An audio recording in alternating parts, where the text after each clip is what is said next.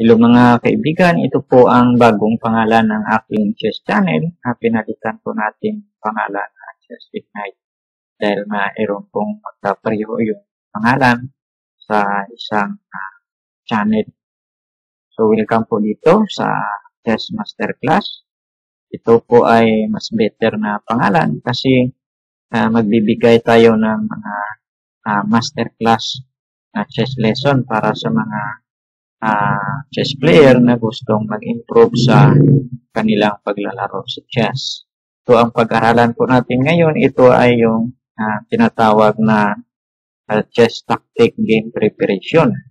Ang uh, uh, position na ito ay napaka-importante uh, po na dapat uh, mayroon kayong uh, preparation before kayo sumali sa chess tournament. So, dito, anong uh, ang benefits na makukuha natin dito sa uh, chess tactic? Dito sa chess tactic, ma-develop uh, natin ang ating skills sa uh, paghanap ng magandang move. Kasi dito sa chess tactics ay kapag uh, nagkamali ka dito ay maaari ding uh, matalo ka sa game. So, kailangan yung mga moves na dapat mong gawin ay uh, tamang-tama. Yung tinatawag na uh, precise move. So, dito ma-improve nyo ang inyong uh, calculation at saka uh, visualization skills. Kailangan ma-improve nyo yung pag-visualize. Unang-una po, kapag nag-analyze po tayo ay wag po nating i-move yung chess pieces. So, yan po ang uh, ideas.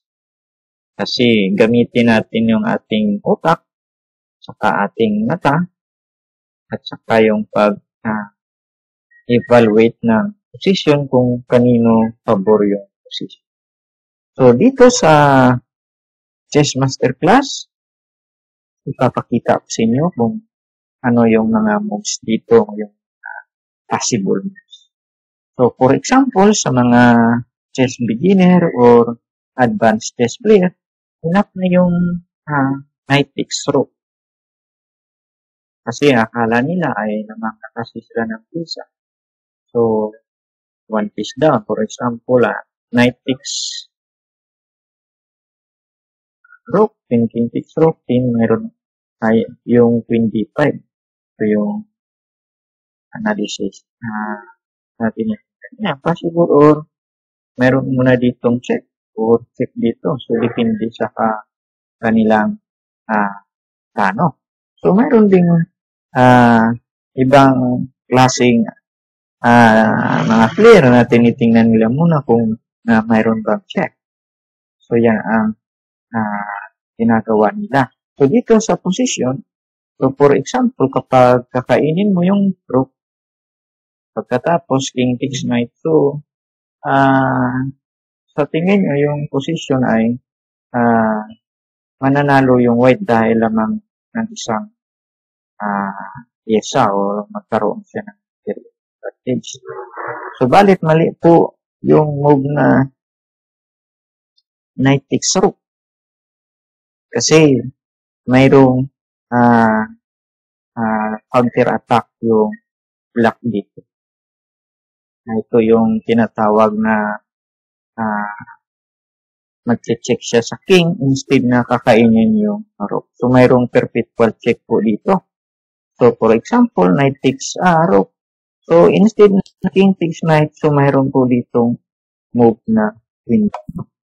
So, ito yung pong move na queen d1 ay equalize po ito. Wala pong winning yung white. Kasi kapag nag-move dito ng, ng bishop, uh, or queen g1.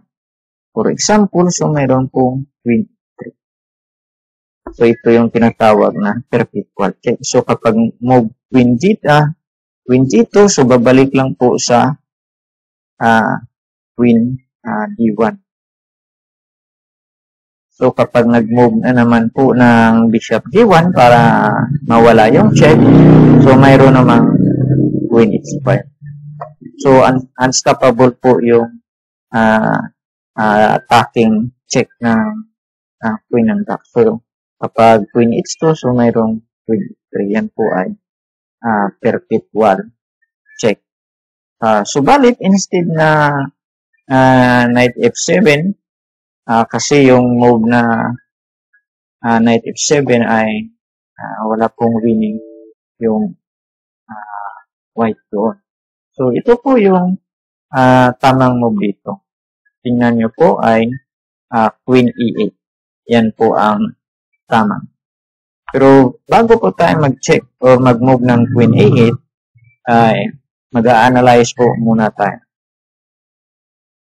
So dito sa queen e8, kapag tingnan nyo yung uh, square dito, yung move ng queen, uh, mayroong check sa king.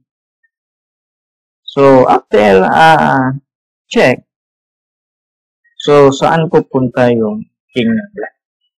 So, mayroong dalawang square dito sa uh, king e7 or king uh, g7. So, dito sa king e7, so mayroon pong capture dito. Uh, kain muna tayo sa pawn check. Pagkatapos, kakain dito. So, kapag nag-move ng queen d7, So, queen takes uh, d7, king takes d7, then knight takes f7. So, winning ng material po dito yung white. So, meaning, uh, uh, no problem sa ganitong klaseng position. Winning po yung uh, white dito. So, balik kapag king d7, so ano yung uh, strong move dito or yung tamang continuation move sa, sa white. So, kailangan uh, nyong makita yung tamang move. Kung naalala nyo yung ibang mga chessbook o uh, nabasa nyo sa uh, ibang uh, chess magazine or baka na sa sa YouTube, so baka mag-move kayo dito ng Queen H8, King G7, Queen H8. No, umaasa kayo na kakainin ng black yung ano doon, yung queen, tapos mayroong double attack. So, yung tamang move doon, kapag nag uh, queen h8, mayroon pong uh, uh, king g6. So, yan po ang uh, pupuntahan niya kapag nag-check. Uh, so, dito, mayroon po ditong uh, force continuation move. Kailangan po hanapin natin yung uh, force continuation. Kasi ito yung uh, pinaka-force dito. Ito yung uh, uh, mayroong uh, win. So, pupunta siya sa king g7. So, mayroon po ditong bishop takes pawn. So, yung bishop takes pawn, uh, force po dito na kakapture yung uh, black. Kasi kapag di niya kakainin yung bishop, makakain yung queen. So, queen takes bishop or queen takes e5, then mayroon pong move na uh, queen h8. Tapos, uh, uh, king takes h8, then knight takes f7. So, tingnan nyo po yung tamang uh, move dito. Ito po. King g7, then bishop takes e5. Check. Then queen takes e5. So, mayroon pong uh, queen h8. So, hindi po pwedeng mag-king g6 dahil makakain yung queen. So, force po yung black. Then, knight takes f7, king g7, then knight takes uh, e5. So, winning po yung white. Yung gagawin ng white dito ay mag-move ng, for example, dito siya, mayroon check, tapos kakain dito, uh, tapos pupunta muna dito yung knight ipupus yung pawn dyan ng sa c5. Tapos, lalapitan nyo yung king ng, ng king yung pawn. Tapos, kapag na-capture ito, so, pupunta ka dito. Kakainin nyo or ipupus yung passport. So, winning na po yan. So, tingnan po natin ang next position. Uh, so, makikita nyo po ang uh, position dito na Uh, mahirap po yung uh, ano dito, yung uh, move dito. Kasi ito yung pinaka uh, magandang tira po dito. So ito po yung tamang uh, position po talaga dito. So dito sa position, uh, uh, makikita nyo po dito yung uh, talagang uh, tactic na move. Ito yung pinakamalakas na move dito. So kailangan talaga sa tactic yung uh, uh, move na mayroong uh, malalim na idea. So, for example, yung uh, ideas dito ng white, ito yung uh, pinag, ano, handaan ng white kung paano ma-sacrifice yung knight dito. Kasi dito, makikita mo kapag yung knight nandito sa f6, so yung mangyari dito, mayroong threat na uh, queen takes f7 mismo. Uh, so, balit kapag na kakapturin ng lock yung knight dito. So, mayroong g takes f6, uh, king h8, mayroong rook g7. Uh, so, uh, winning yung white. So, makikita nyo talaga. Uh, subalit dito ay ito yung uh, tinatawag na uh, pinaghandaan ng white. So, hindi pa tamang tempo na i-sacrifice yung knight dito. Dahil mayroong queen, mayroong defender. So, ang tamang move dito, knight f6, bishop takes f6. So, pawn takes f, uh, f6 or pawn takes bishop, then queen takes uh, pawn. So, okay yung uh, uh, black. So, ano yung ideas dito na mapaalis? Ito yung queen. So, yung tamang ideas dito ay yung move na queen e5. So, ito po. Yung move na queen e5. So, kapag dito yung uh, uh, bishop e5. So, kapag dito yung bishop sa e5, so, kakainin ng uh, black, queen takes uh, a5. So, pwede nang mag uh, sacrifice ba dito? Uh, hindi po. Dahil na-pin yung pawn dito, queen sa a5. So, yung magandang move dito ay knight takes e7 check, then rook takes d4. So, ay, yung itong uh, uh, tactic na ito ay equal. So, dapat nyo pong tandaan na lahat na tactical move ay uh, hindi magka-pareho yung uh, strength, yung result. Kasi minsan yung move na tactic ay equal, mayroong winning, so mayroong din uh, losing.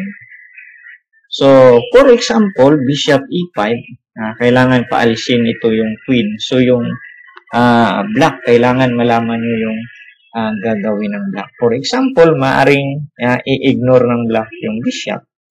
So, wag siyang kakain. So, atakihin niya yung queen muna dito.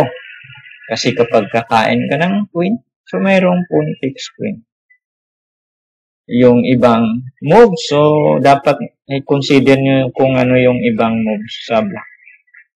Or consider yourself as you play black. So, for example, bishop e5. Uh, so, pwede kang mag-move queen e8. As ito yung ibang uh, possible move dito. So, kapag queen e8, so mayroong knight f6 kasi wala na yung queen sa d8 so pwede na. Yan ang tamang uh, move yung correct na timing. Kasi sinasabi ko sa inyo na ito yung pinaghahandaan na square ng white. So dito uh, yung move na queen e5 so yung uh, move ng Black, for example, G6, so mayroong move na uh, Queen H6. Uh, pagkatapos, kapag kakainin niya yung knight, so mayroong bishop takes uh, D8, then rook F takes D8, o rook F takes D8, then rook takes D4. So, makikita niyo po na lamang ng material dito yung uh, white uh, dahil na-capture niya yung queen versus uh, pinagpalit yung dalawang minor piece sa queen. Tapos na-capture pa yung knight.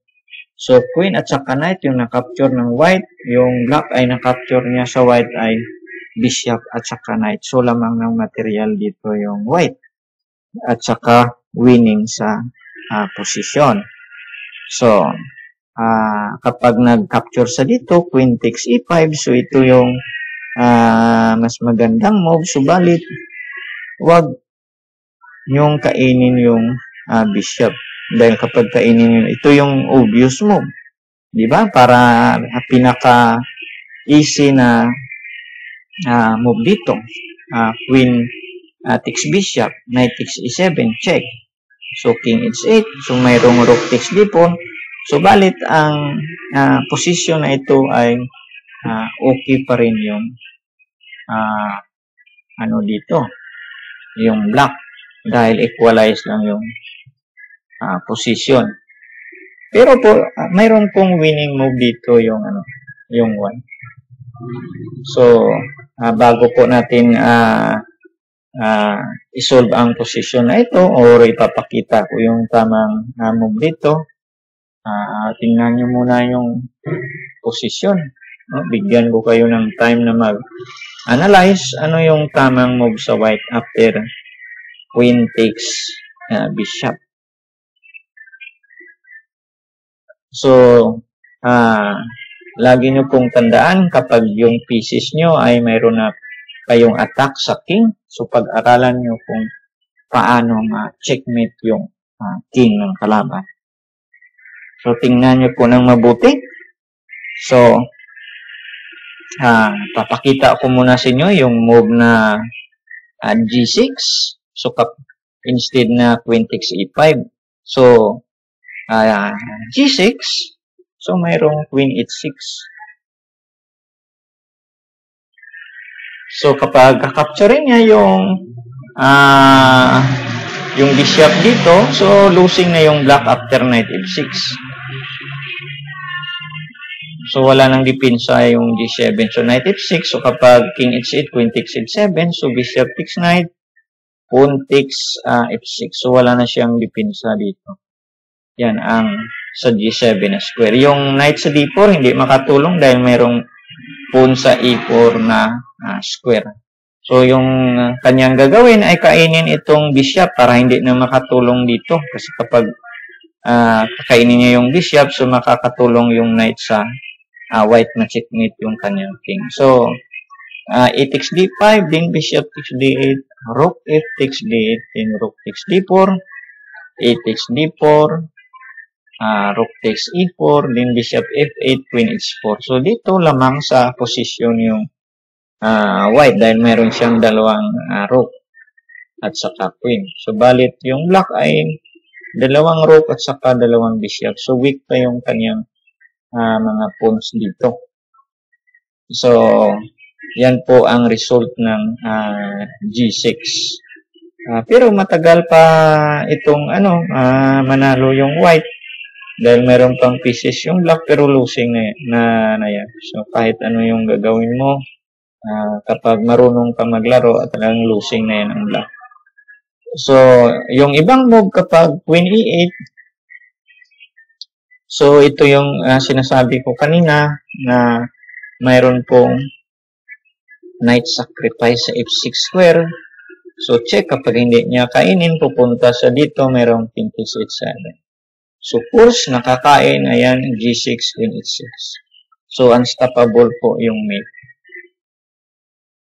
So, yung uh, move dito ay queen takes e5. So, umaasa yung black na yung uh, white kakapture sa bishop, check, tapos kakainin yung kanyang So, ito yung sinasabi ko sa inyo na tingnan nyo ng mabuti yung posisyon at hanapin nyo yung uh, winning move dito.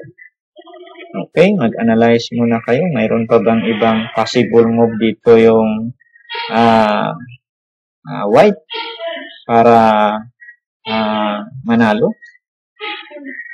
Kasi ito yung move na ano eh, obvious move.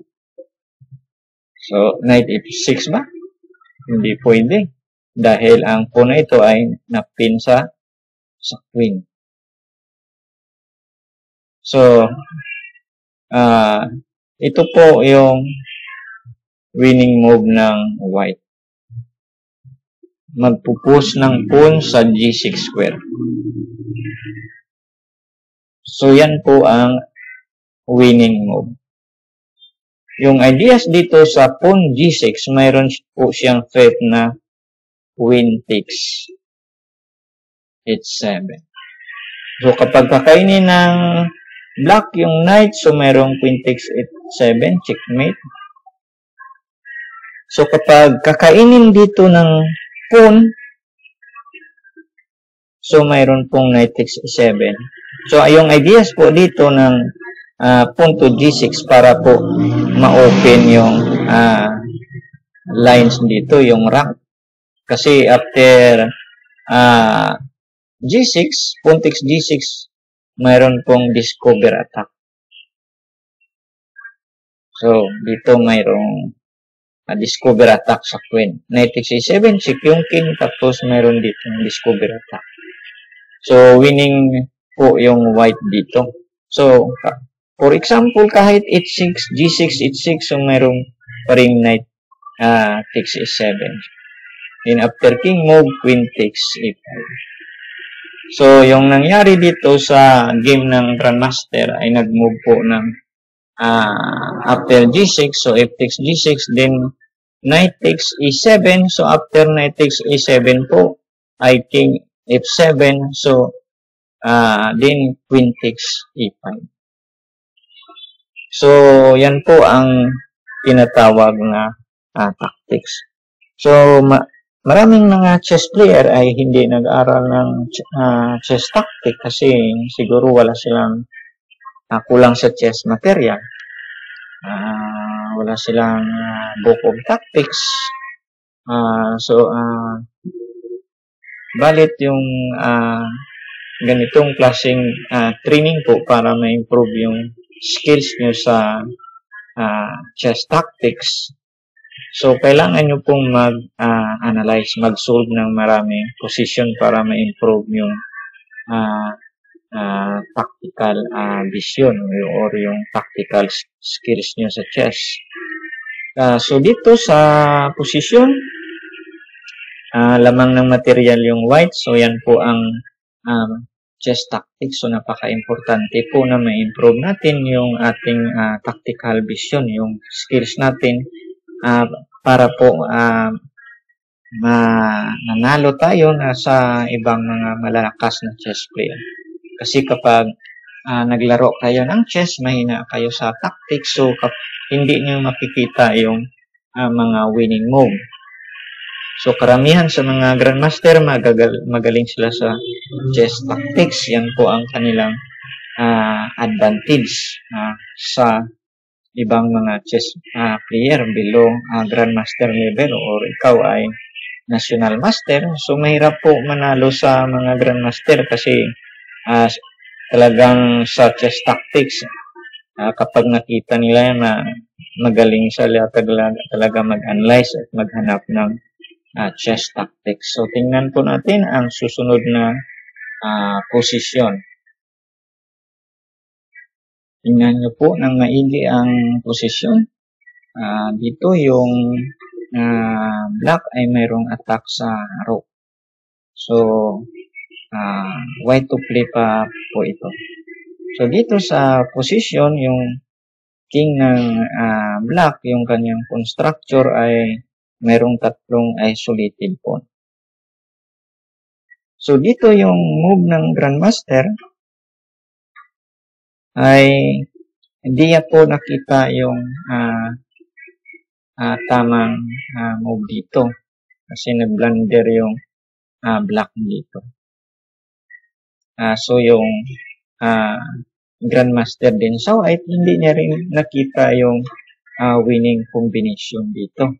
So, ito ay laro ng uh, Grandmaster. Matagal na po ito nag-game.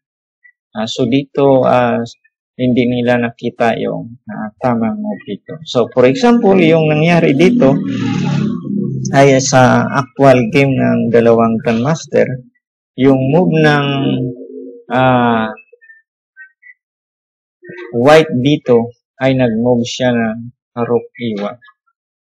So, ito po yung uh, move na rook e1. Mayroon pong na-miss na winning uh, tactic po dito yung uh, uh, white.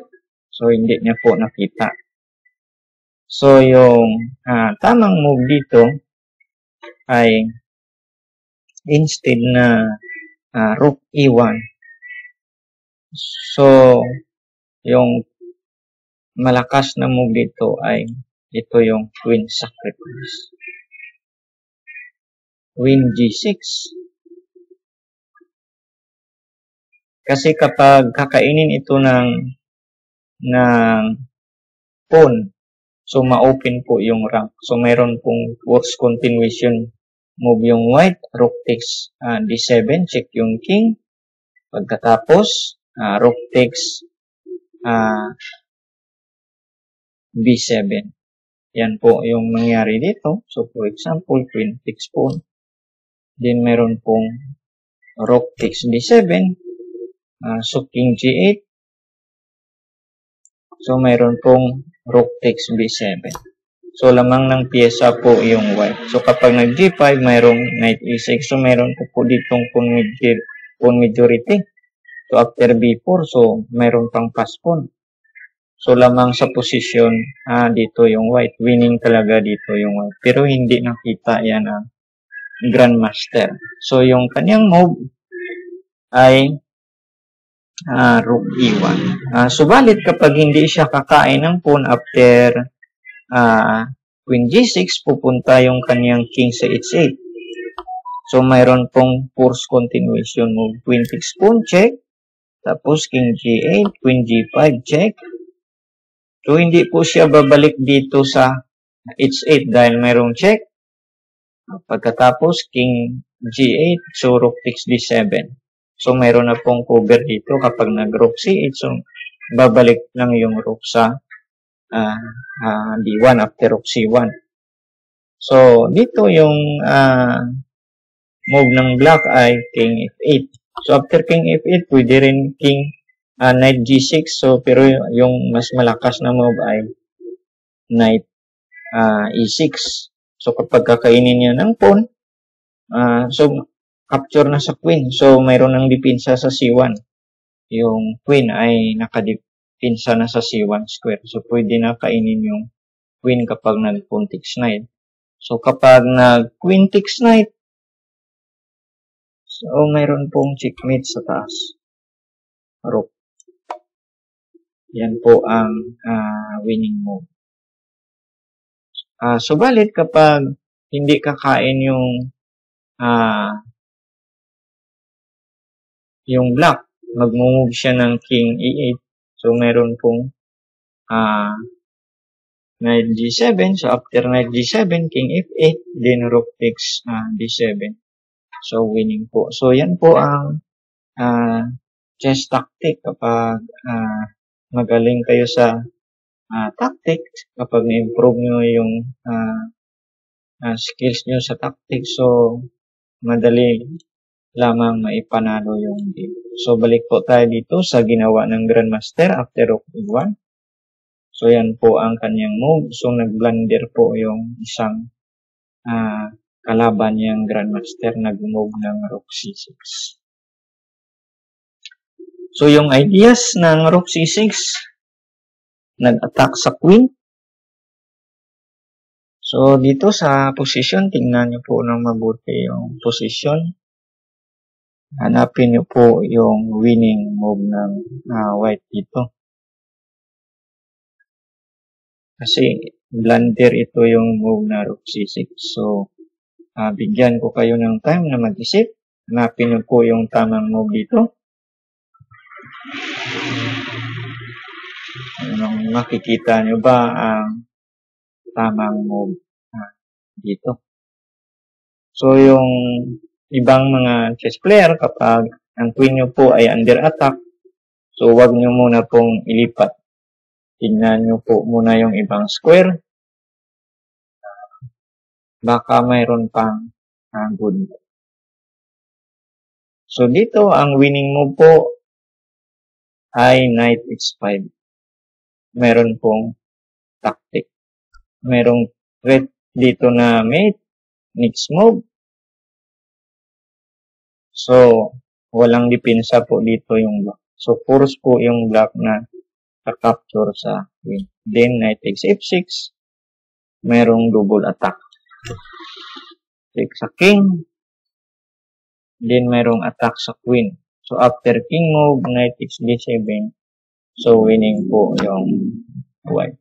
So, maraming salamat po sa inyong panonood. Sana po maraming kayong natutunan dito sa uh, chess tactic.